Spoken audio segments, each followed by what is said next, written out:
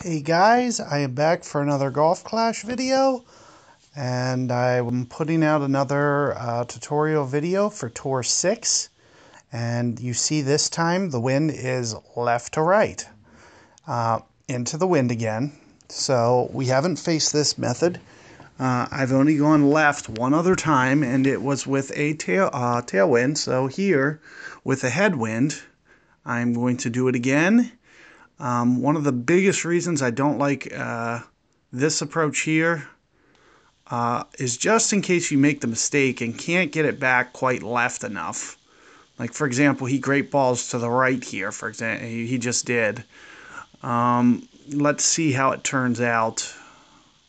You can end up hitting, yeah, so he's not going to catch enough slope, it looks like, and it's going to stop short. But he did still get quite a bit of momentum but uh, that great ball there cost him getting down to the hole.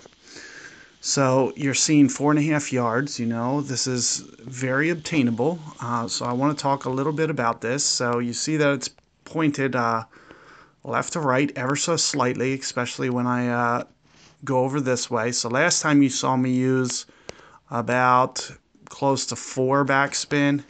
Um, I'm going to have to take a little bit of that off now because I'm into the wind. So you're going to see, you know, I'm going to have to get a little aggressive with my land zone there, um, how it's into the fringe. And again, I'm going to overcorrect my uh, rings here.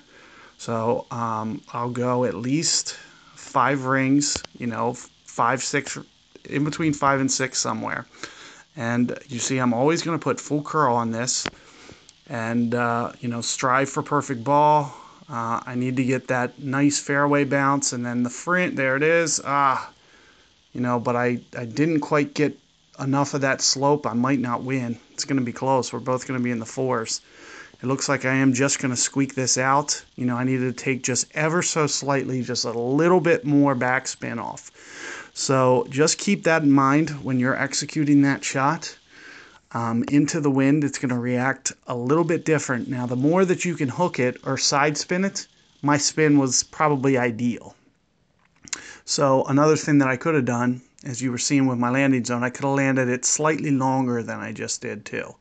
Because you saw I had a little bit more room for air there.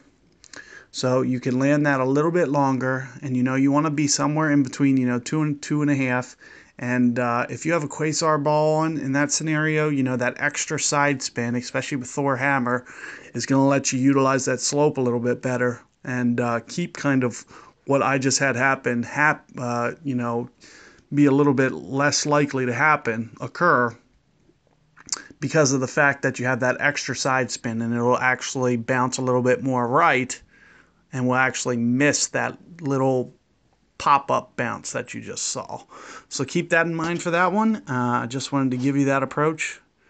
And uh, good luck with that wind.